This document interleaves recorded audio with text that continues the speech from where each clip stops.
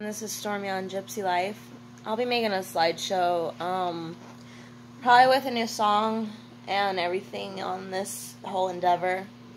So I went out to California, well, Colorado, with being told that someone was going to pay my way through college. Well, it turns out they couldn't even afford the general necessities of me, let alone an actual degree I needed, and what it was cost. So they lied to me. Um, The next thing is that I uh, borrowed their car to try to get to LA on a rescue mission from my uncle. Um, he was wandering the streets, I was told. Turns out he really wasn't. Actually, he's fine, I guess. As much as he can be being a victim of elderly abuse and neglect. So I took this guy's car and I started driving and it broke down probably less than an hour into Utah. So we weren't even, we had just barely passed Green River. Um, my car broke down. A woman pulled over and gave me a ride. I threw what I could in the back of her car, so I left behind my fundraiser stuff, the tent and all that. I was left in Vegas at the Bellagio where I spent the entire night trying to get hold of anyone, and of course, no one would answer or could help me ended up in front of the Bellagio on the sidewalk crying for about an hour.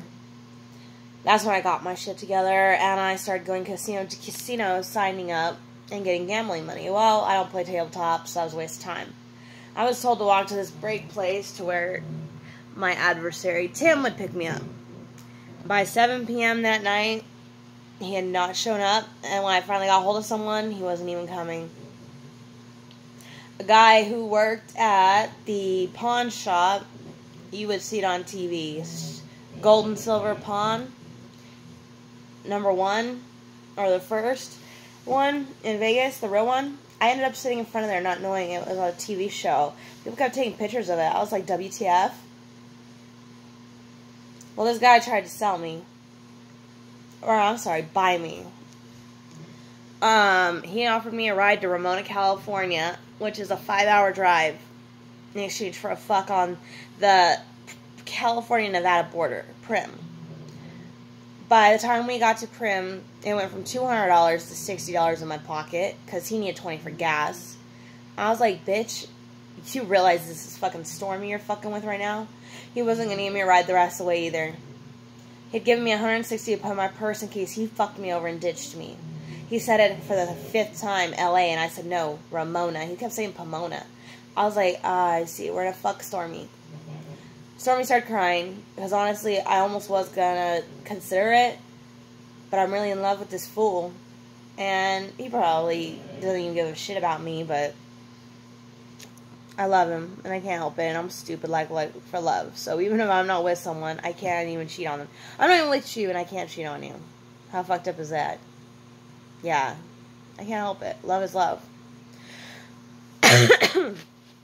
so, I grabbed my purse, bawling my eyes out, started walking away. He's like, wait, give me the money back. And I was like, uh, no, you gave me this money. Huh, bye. And he grabbed my purse. I screamed. He let me go. I bolted with my fucking 40 pound uh, backpack into the hotel and got a room. $62 for the night. I have 160 bucks. I gambled $3, 117. I gambled four last night, got nothing. I had a Long Island iced tea and bought a pack of cigarettes. I ate some um, vending machine food today. I ate a burrito and got a phone charger.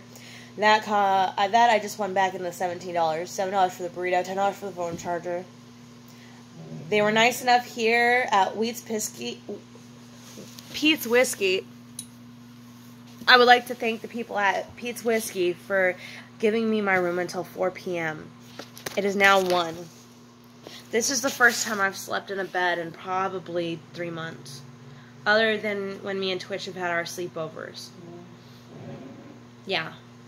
So I want to thank the people at Pete's Whiskey for their love and consideration.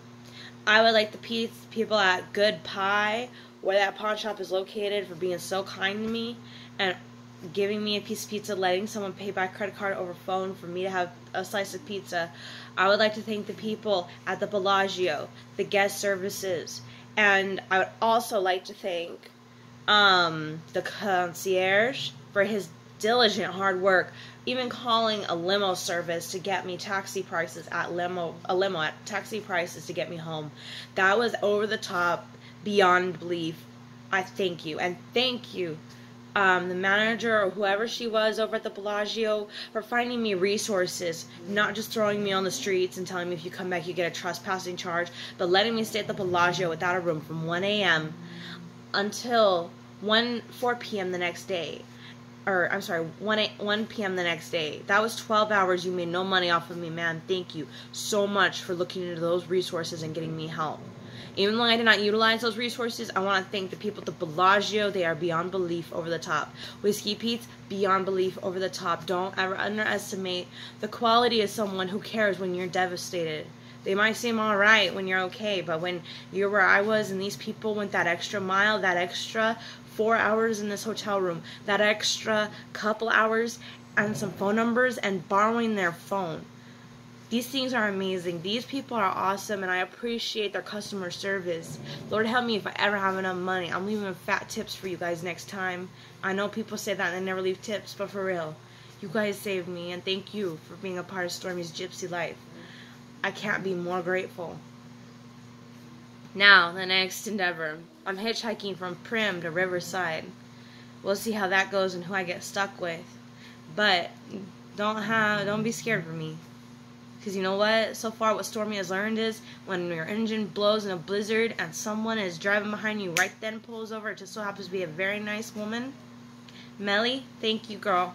That ride was awesome. You were chill as fuck, and thank you for letting me drive us the last half to the Bellagio. I didn't get any sleep until last night since then. But I tell you what, girl, that ride, I didn't mind being your chauffeur, honey. Thank you. This is gypsy life, man. You gotta be careful. I'm lucky I haven't gotten raped from fucking that guy. I'm lucky I even got money out of that motherfucker. You know, this is not safe. Don't try this shit at home. I've got an angel with me, Miss Margaret's freaking good luck charm. Cameron's good luck charm. And, you know, I've got freaking Pat Curry from Ramona's Good Luck Charm. I've got a lot of good luck charms on me. Everyone has given me a blessing to carry with me on this journey. Don't you ever try this. This is dangerous, and I could have been killed and hurt more than once. Okay, I could have froze to death in that blizzard in Utah. I'm surviving and doing what I gotta do to get back to my family, back home in Ramona. And I don't want anyone to ever try doing what I'm doing because it's not safe. You should have fucking weapons on you. You should have resources and homies and people along the way. This is not easy and this is not safe. And I know people have done worse and more dangerous, but I'm telling you, just what I'm doing isn't safe. I never want to see my babies doing this shit. None of my girls. I'll beat the shit out of any of you three girls you ever try this shit. Don't you ever do this. Mama will find a way to freaking take care of you. Don't you ever, ever, ever go, ever go through this. Not necessary.